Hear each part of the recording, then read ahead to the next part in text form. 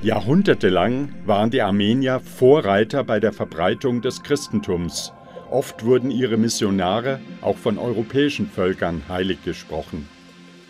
Die kirchliche Historiographie erlaubt die Schlussfolgerung, dass die armenische christliche Missionierung im Westen sogar noch vor der Erhebung des Christentums zur Staatsreligion in Armenien begonnen hatte.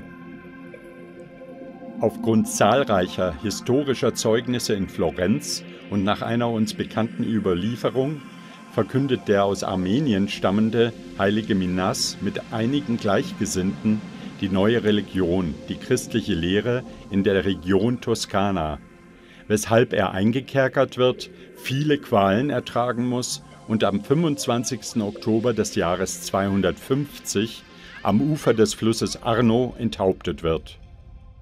Fu martirizzato, Samminiato martire armeno, di nome negli antichi documenti di Minas.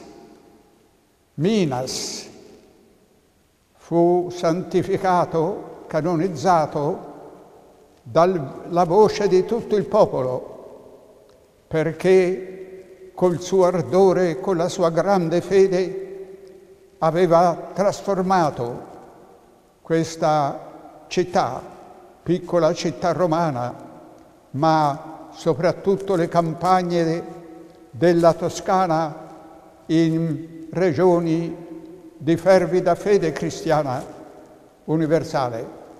Perciò ogni anno noi veneriamo, preghiamo, ricordiamo questo santo martire che è venuto dall'Armenia ha portato la fede nell'Italia, nell'Europa,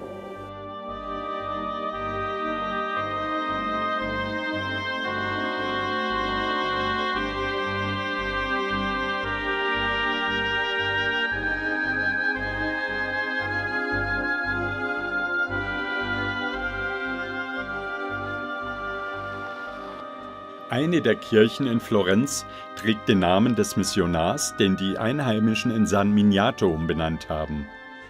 Die ersten Erwähnungen der Kirche reichen bis ins Jahr 783 zurück.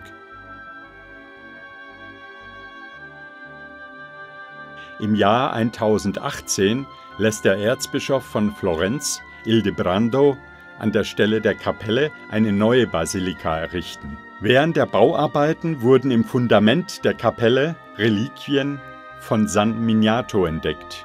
Über dem Hauptaltar der Kirche haben die dankbaren Florentiner in goldenen Buchstaben folgende Aufschrift angebracht. Heiliger Minas, armenischer König.